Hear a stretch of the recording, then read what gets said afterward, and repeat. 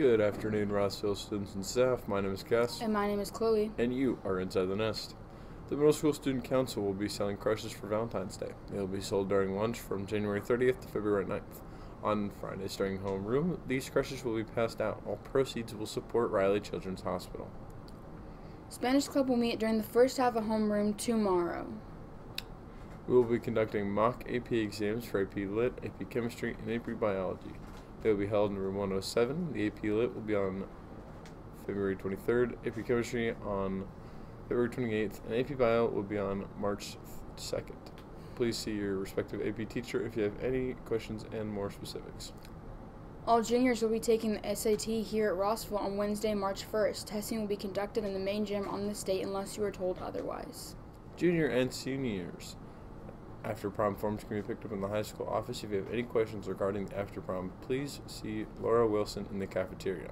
Deadline for these forms to be turned in is March 1st.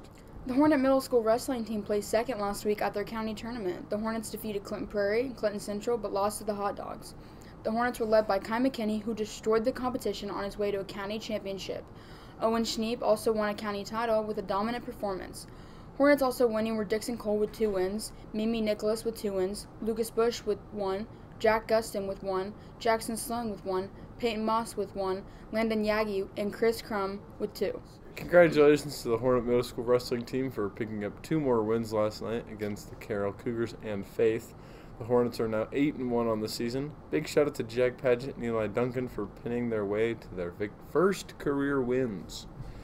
Other Hornets getting wins were Hovey Newbar, Lucas Bush, Owen Schneeb, Logan Schneeb, Peyton Moss, Landon Yagi, Kai McKinney, and Jackson Sloan. Hornets to the front. Any student in grades 5th through 12th that is interested in participating in a spring activity needs to be sure they have a physical on file with the athletic office, and they need to update their Final Forms information. If you do not have a Final Forms account, then you need to stop by and see either Mrs. Homco or Mr. Burke to get that information. Do not wait until the last minute to complete your responsibilities.